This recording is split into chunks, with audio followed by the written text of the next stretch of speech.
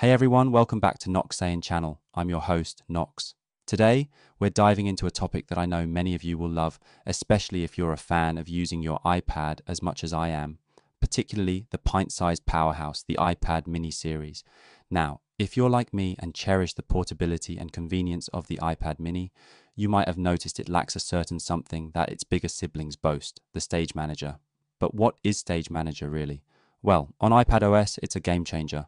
It grants your iPad a desktop like interface where you can manage multiple apps simultaneously, resize them, and essentially transform your iPad into a streamlined MacBook. I initially envisioned my iPad mini as a compact battle station for work and play, but Apple hasn't quite shared my vision. Until now, that is. Thanks to the power of the internet community and some nifty tech wizardry, there's a way to bring Stage Manager functionality to our beloved minis. Yes, the internet strikes again. Even though the screen is a bit limited in size, the possibilities for multitasking are boundless. And we're going to embark on this tech adventure together. But first, if you love this kind of content and want to support our channel, please subscribe and hit the bell icon. Your support truly means everything to us. All right, let's embark on this journey. So, what will you need to join in this innovation? Primarily your trusty iPad mini running on iPad OS version 16 or newer. I've played around with iPad OS 18.0.1 and it worked perfectly fine, so I suggest you update to recent versions if you haven't yet.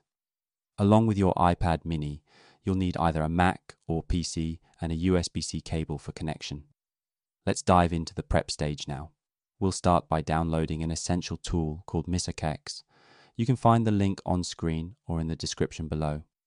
Once downloaded and unzipped, you might encounter a few permission issues on macOS, but fear not, I've got a quick fix for you.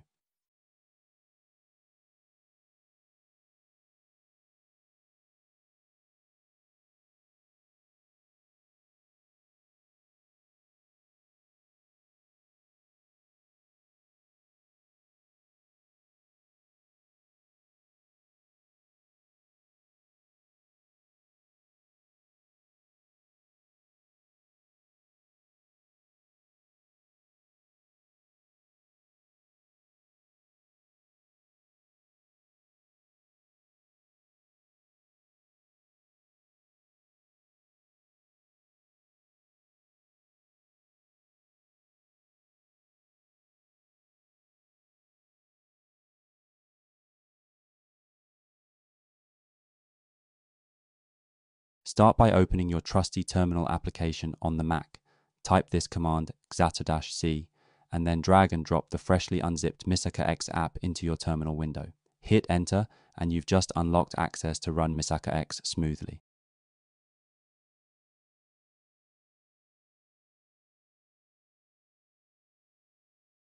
Meanwhile, let's prepare our iPad.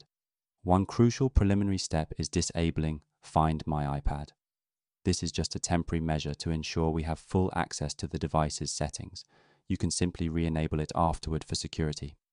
Now comes the critical part, fetching the hidden setting file from your iPad.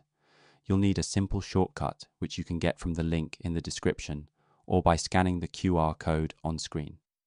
Run this shortcut and save the mobile Gestalt file to your iCloud drive, a USB stick, or any storage that allows transfer to your Mac. Once you've exported the mobile Gestalt file, plug your iPad into your Mac. Then, fire up the MisakaX once more. Locate and select the mobile Gestalt file you previously saved. The app will sync these across your devices without a hitch. A menu filled with options will appear. Click on Stage Manager.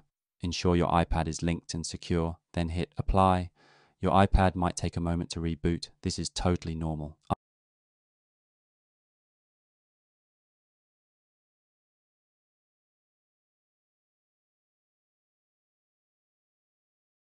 Ah, there we go. The Stage Manager is now unlocked for action on your Mini. Head over to the settings, tap on multitasking and gestures, and enjoy your new productivity setup. It's time to put the Mini to the test. Run multiple apps, resize and rearrange them to your liking. It's quite an upgrade, isn't it? For an added touch, let's create a Control Center shortcut for quick access.